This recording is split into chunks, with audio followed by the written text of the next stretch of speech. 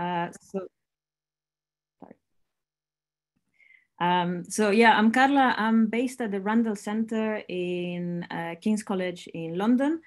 Um, so by background, I'm a stem cell biologist, biochemist. Uh, so you're not going to see many formulas as part of this presentation. Mostly my, um, uh, what I'm going to present is basically what I think are my approaches in order to basically get closer to modeling cell state transitions. So really working on the biology, the biochemistry in order to develop, uh, start informing and parameterizing the mathematical models.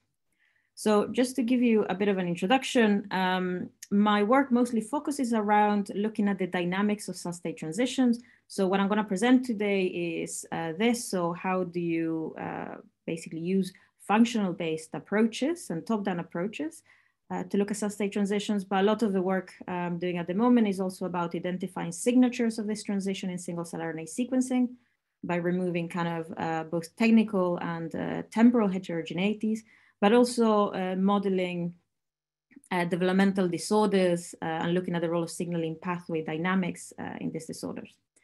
So uh, just to start again from the very basics, I'm interested, as I said, in cell state transition. So how does a cell rewire its identity, basically? So these transitions do not uh, result or do not require any change to the DNA content, but just to the properties of the cells.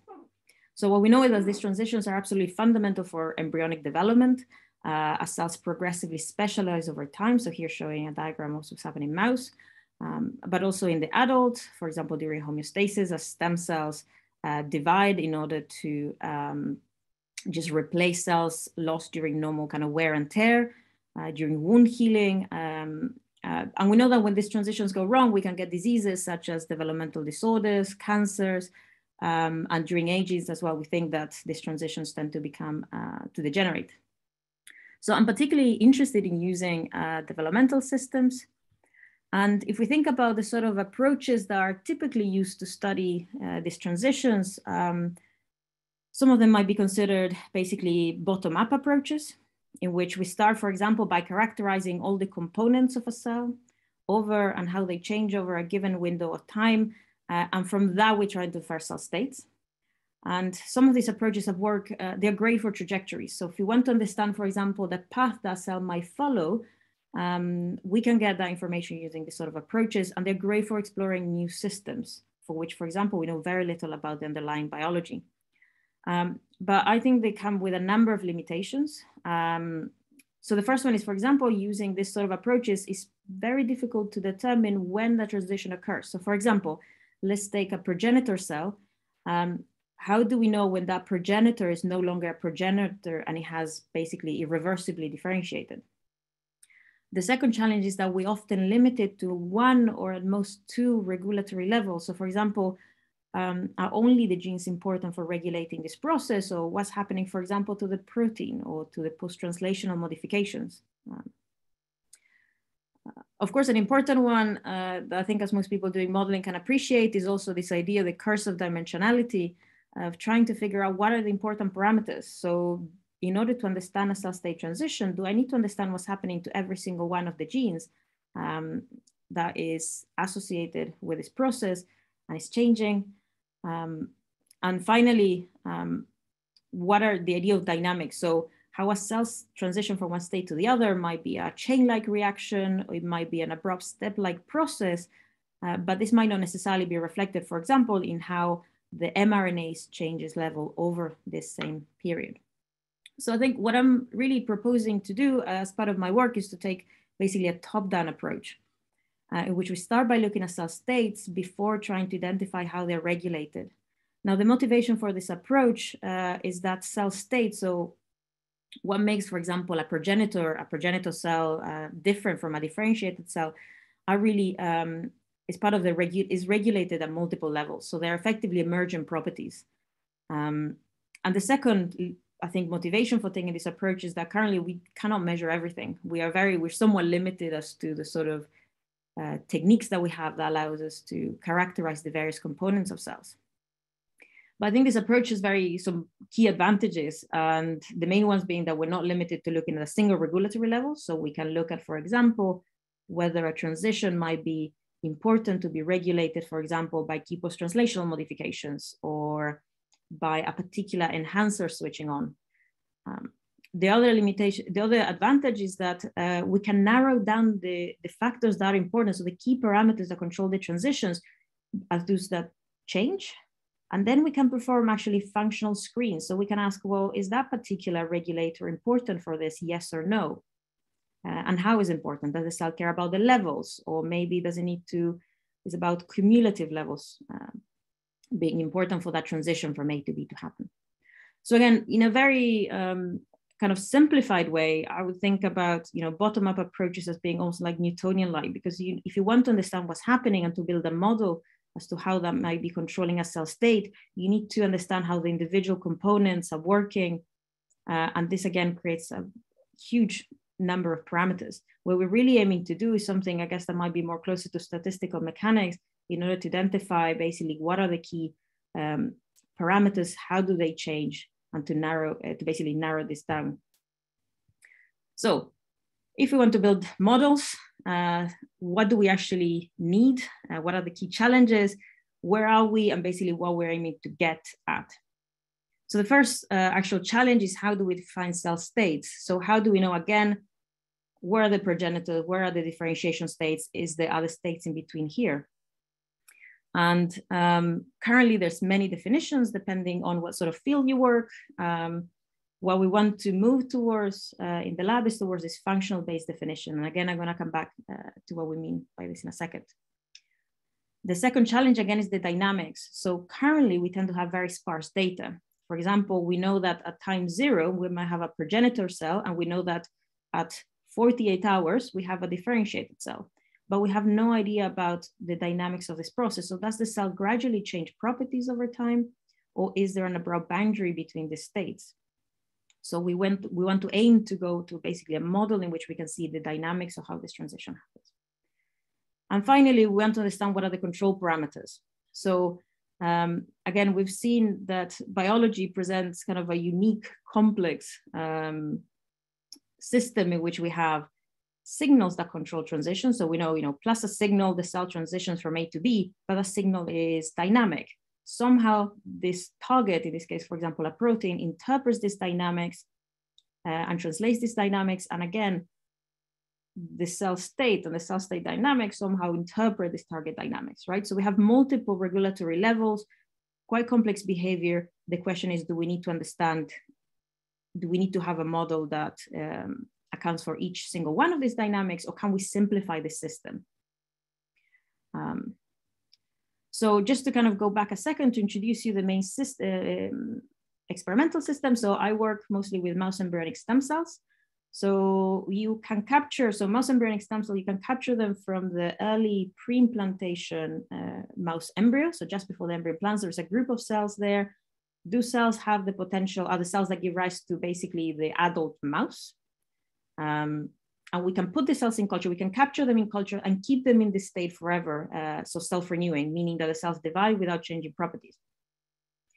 Uh, we can put the cells back into the embryo and they give rise to chimeras, but importantly, we can differentiate the cells further. So we can give the cell specific signals and allow them to start undergoing these fate choices uh, down the line to form different cell types. Like for example, here we have the precursors of um, of muscles, blood, and the gut. We can form the brain, and we can form also the precursor for sperm and eggs. So um, how do we define cell states again? Um, we said we want to take a functional based approach. Okay, so what is the function of a cell? How do we quantify it?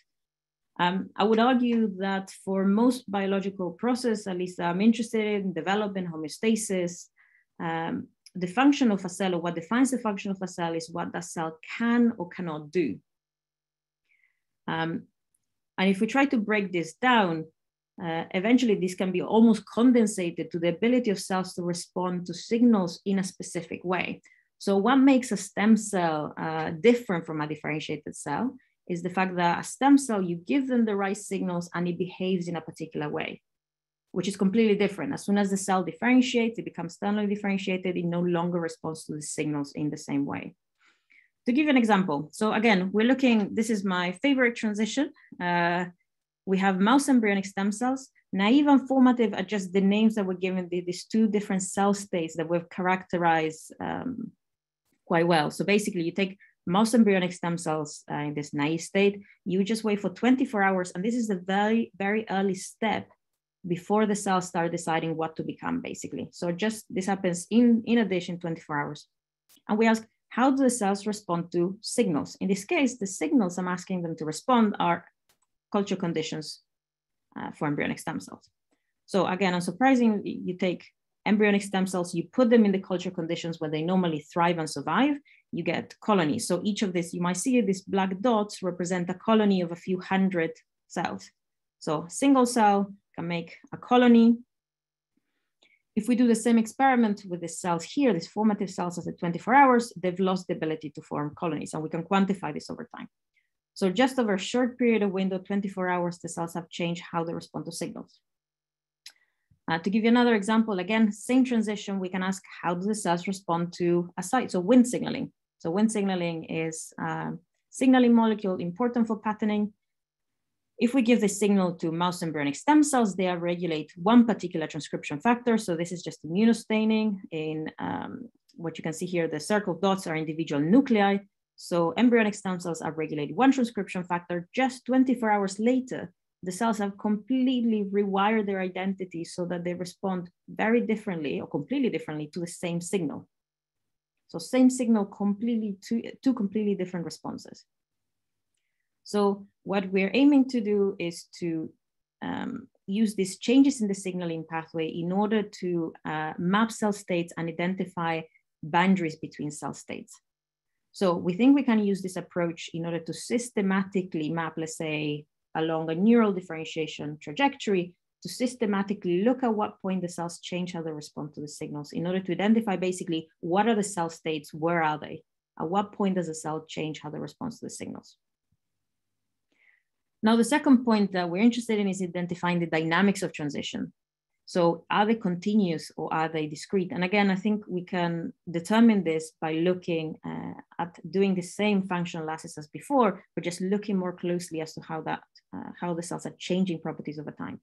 So to give you an idea, again, same experimental system, we have embryonic stem cells, we differentiate them and we ask, um, can cells for colonies in ES cell culture conditions and now we're sampling cells rather than every 24 hours, every four hours.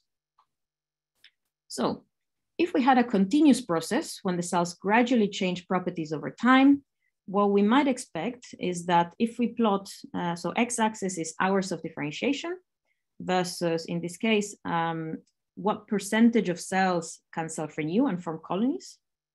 We might expect this to remain constant, but that the colony area would reduce over time, meaning that as the cells transition from A to B, they progressively lose this ability to form colonies. Now, if we actually do these experiments, this is not what we see. What we see instead is that the number of cells that can self-renew decreases over time, but that the colony area always stays the same. In other words, even if you take, let's say, a 40 hours here, only 20% of the cells come from colonies, but the size of those colonies is exactly the same as the cells have only been uh, in culture for six hours. So what this is telling us is that we have basically a discrete transition. So this naive to formative A to B um, transition is discrete because either the cells make a colony or they don't. But the other thing that we're learning about this is that this process is non-synchronized. Again, we take this 30 hour time point, for example, and roughly 50% of the cells come from colonies, 50% of the cells cannot. So by simply testing how cells respond to signals over time, doing these kind of quite accurate measurements, we can determine not only where the state, the cell states, uh, what the cell states are, but also what sort of the dynamics of transition. Uh, again, whether discrete or gradual. So we've defined the cell states, we defined the dynamics. Um, I've shown you data for some of the kind of this stereotypical transition, uh, which I'm kind of representing here as a diagram is a A to B transition. The cells have no other choices. Doesn't matter what signal I give to the cells, they don't care. They can only go either naive or formative. What I'm doing at the moment, or the, the objective of the lab is to really expand this to other type of transitions. And in particular, we're interested in uh, kind of fate bifurcations. So mouse gastrulation is a great system because you have different types of bifurcation happening, uh, or at least transitions that have been reported to be fate bifurcations. So there's very there's limited experimental evidence that this is truly the case or not. So we really want to take our approach to understand whether what's happening here, do they show the same type of dynamics? Um, in particular, transitions that respond to basically plus or minus signals. Uh, and also we have transitions which respond to graded levels of signals, uh, as well as niche effects. So which brings us to, so again, as part of this, we have defined the cell state, we have defined the dynamics, which leads us to probably the one of the biggest questions, which is how do we identify really the control parameters? So again, I'm gonna give you an example. We're still looking at the same um, transition, naive to formative. And we know that the signaling pathway is really important. So FGF4 is one of the key, is, um, is a signaling molecule. Um, the cells produce them themselves, actually, the embryonic stem cells. It binds a receptor in the plasma membrane and that activates a signaling pathway cascade, um, activating the ERK pathway. And we know there's various negative feedback loops. So here, for example, I'm showing RSK, which feed, feeds back at the receptor level in order to um, dampen signaling. So to give an example of sort of experiments we have, we take embryonic stem cells. This is 2i simply the, the name of the culture condition in which we keep them. So we can take embryonic stem cells and then culture them for let's say 30 hours in our basal media. So we start this differentiation process. Again, we're in initiating this transition from naive to formative. If you remember from the previous data, we showed that differentiation was non-synchronized. So we take, again, this is the same uh, data as before. We ask how um, at this 30 hours, uh, how many cells come from colonies? And roughly we have 50% of the cells come from colonies, right? In these control conditions. Um, just to show you a parallel assay, we can also measure, we can also use reporters. So in this case, this REX1 reporter, this is flow cytometry data. So this is intensity um, against effectively density. Um, REX1 is expressed in the, cell, in the undifferentiated cells. So as long as the cells have REX1, they can form colonies in ESL culture conditions, they are undifferentiated. They then regulate REX1, so go below this kind of red line threshold. Um, and they've become formative. So they've undergone this kind of switch uh, like behavior. So what happens if we mess around with the pathway? If we inhibit the pathway, cells retain um, the ability to form colonies and expression of REX1. Effectively, they become stuck in this state, in this undifferentiated state. But we can also overactivate the pathway. So we block this negative feedback loop. Um, you increase basically the flow through the pathway, you get much higher levels of ERK activity, and now you accelerate differentiation. So at this, exactly the same time point when you treat cells with RSK, you have a lower number of colonies.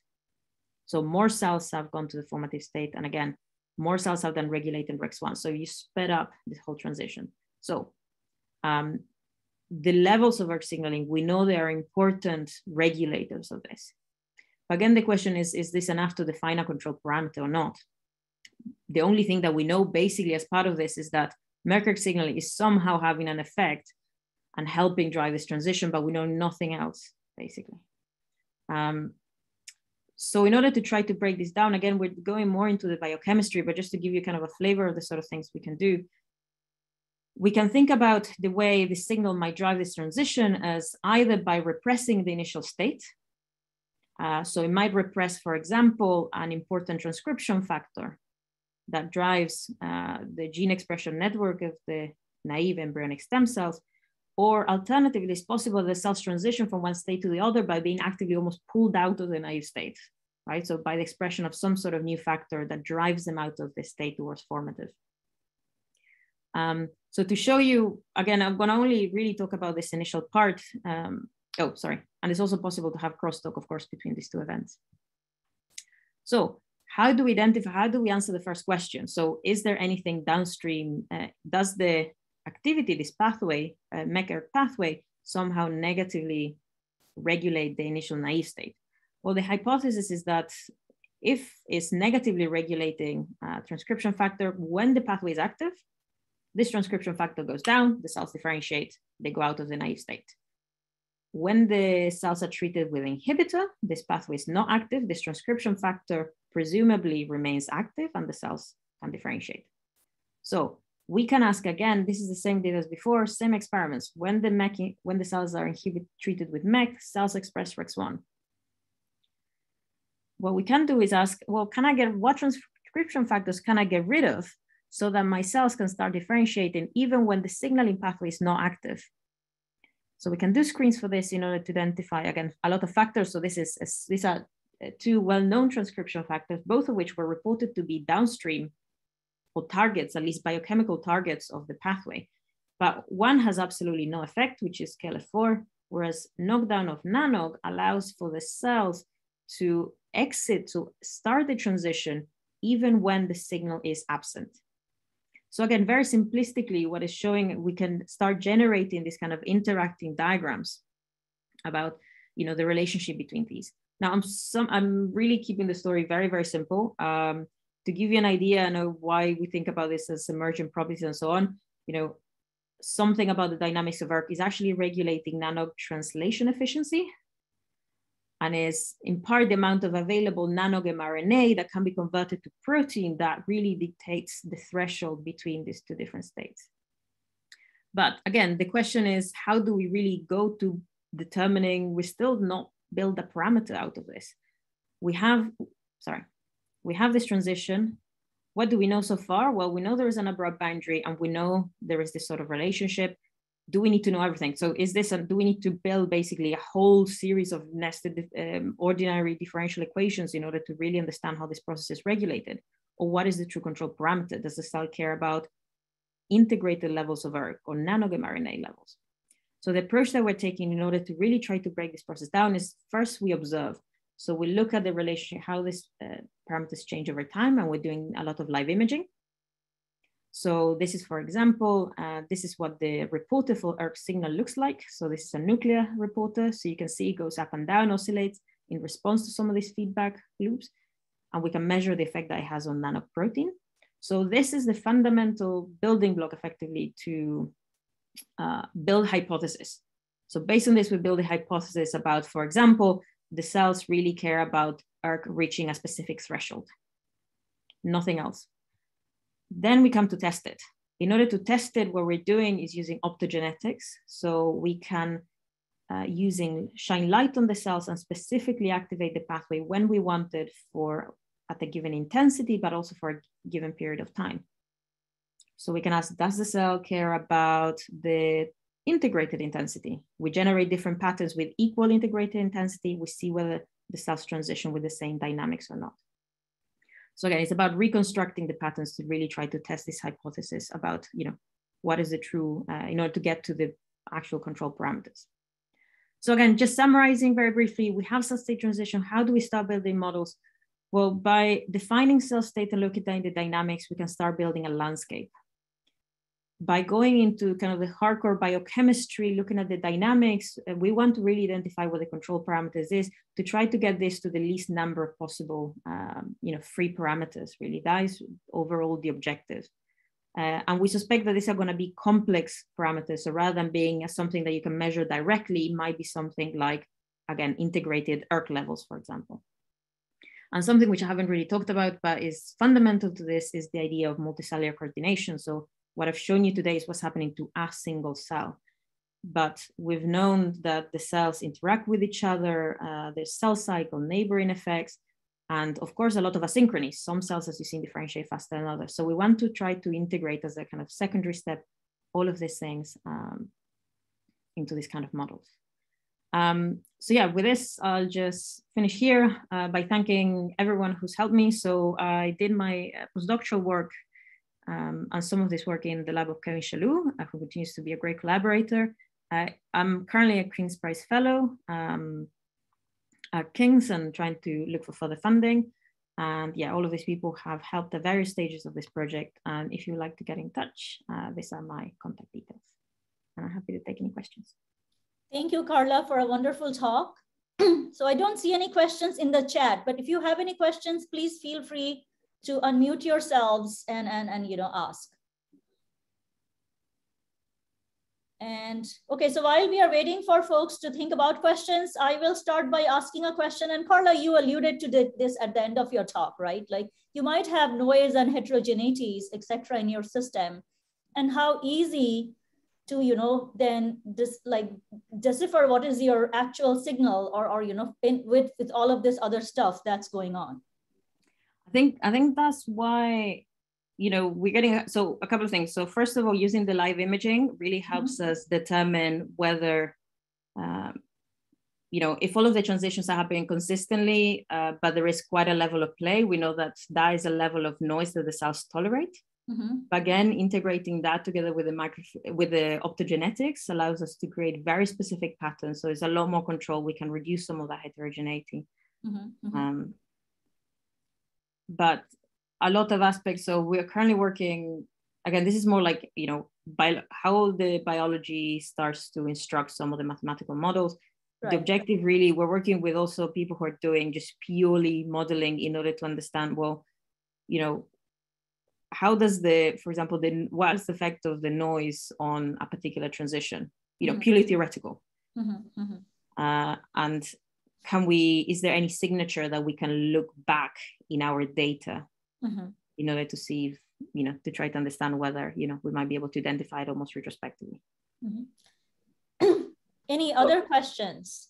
Uh, so Carla, you mentioned the cell cycle, right? Cell cycle mm-hmm. parameter. How do you determine cell cycle stage in your experiment? Um, the in the initial ones is a bit more tricky. So in, when we define cell states and so on, so the cell cycle normally comes in at the level of when we're trying to basically uh, infer the control parameters. Uh, so most, because uh, again, the key, initially we just try to identify, okay, these molecules are important. The secondary step is very much based on live imaging of how these parameters change over time. Mm-hmm. Um, so this becomes basically an intrinsic measure out of the light of the movies. So most of these transitions do span at least one or two cell cycle divisions. I see. Oh, I see and also we know that they're regulated right so a lot of well, again i'm not sh- i had to simplify a lot of the data but we know that for example their signaling pathway also controls the cell cycle which in part we think feedbacks onto the mechanism for control for nanog yeah i also had a related question you know about how all of this is related to the cdk cyclin or other things you know other kinds of they are yeah they are they are controlled because so for example nanog protein itself how much you have of it uh, is a so nanog is a direct target of all the CDKs. Mm-hmm, mm-hmm. Mm-hmm. It's a very short-lived protein, but it does require activity, and we know that ERK controls how long the CDKs are active and for what stage. Um, so yes, but again, so all of these things exist at different levels. The question is, do we need to know understand all of these, or uh, ultimately for the transition, does the cell, for example, only care about nanog mRNA availability? Right no, absolutely. So before, uh, I, I think let's one question from Anand Singh, who yeah. has his hand raised for some time. Anand, why don't you unmute yourself and ask? Hi, thank you for hmm. a great talk. Uh, I was wondering uh, whether you could kind of comment on the like um, introduce noise at the input level, how that propagates into the network and affects the cell fate decision. And are there experimental ways of understanding these you know parameters? I, th- I think that's, an that's an excellent question, and it's something that we are trying to play with, um, particularly as part of one of the second project that I mentioned we're working. So they are. So there's some. For example, like Wnt, whether you give a you know a constant dose, or you could do you know using some of these tools to pulsate at certain you know 20 minute, half an hour, one hour, the problem is it's a vast parameter space. It is.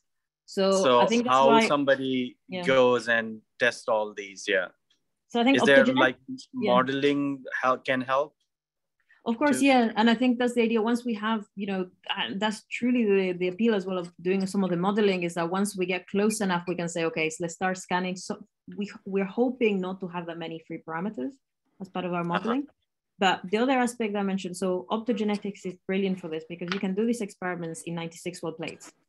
So yep, you yep. are able to experimentally test this um, to, you know, just do it almost like as a screen. Let's screen all the different type of uh, combinations of signals.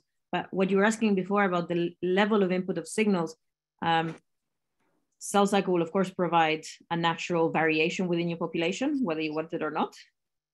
Yeah. Uh, but there's also a lot of intrinsic parameters. We're trying to play with them, for example, about how efficient transcription is. Mm-hmm. Uh, so yes, we're we're definitely trying to play with that and see what happens. But still Thank very you. much preliminary. Thank you.